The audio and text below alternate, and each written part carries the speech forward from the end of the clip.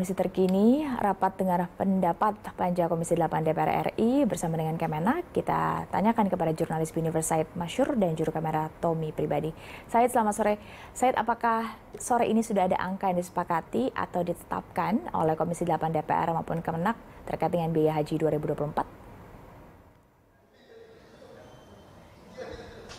Stefan hingga sore ini rapat berkaitan dengan biaya penyelenggaraan ibadah haji atau BPIH 2024 ini masih terus berlangsung. Belum ada angka ataupun juga nilai yang kemudian disepakati antara kedua belah pihak antara Komisi 8 DPR dan juga pihak pemerintah dalam hal ini uh, Kementerian Agama.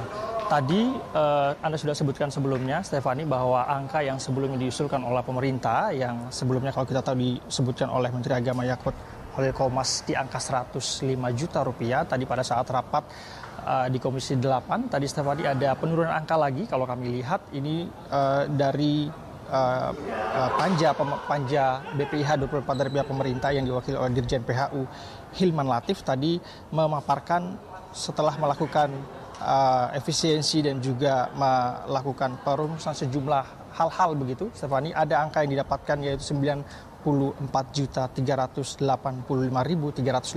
rupiah. Jadi uh, angkanya naik 5 persen kalau kita bandingkan pada 2023 yaitu 90 juta 90 juta rupiah.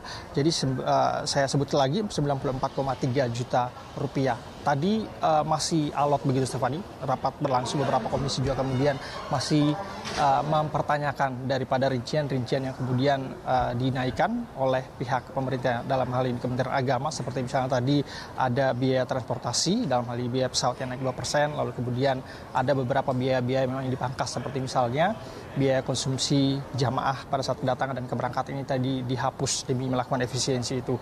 Dan dari pihak Komisi 8 sendiri sebenarnya Stefani tadi juga menyampaikan usulan angka karena uh, panitia kerja atau panja BPIH ini uh, ada dua Stefani dari pihak uh, Komisi 8 dan juga pihak pemerintah. Dari Komisi 8 ini uh, panja dari Komisi 8 ini mengusulkan sebetulnya angka 93 juta rupiah atau naik 3 persen saja dibandingkan pada 2023 sehingga ini kemudian tadi masih terus berlangsung dan uh, saat ini uh, tadinya rapat sempat diskorsing 20 menit karena sholat asar dan juga pihak Komisi 8 ini masih kemudian meminta agar uh, dari Kementerian Agama dalam hal ini di Dirjen PH untuk kemudian merumuskan kembali atau bisa menjelaskan kembali rincian-rincian yang masuk ke dalam usulan itu. Kita masih menunggu tentu saja Stefani, uh, bukan saya tentang uh, nilai yang akan diputuskan, kita akan tunggu juga bagaimana proporsi pembagian uh, berapa yang diberikan pemerintah dan juga berapa yang diberikan oleh jamaah nanti. Stefani.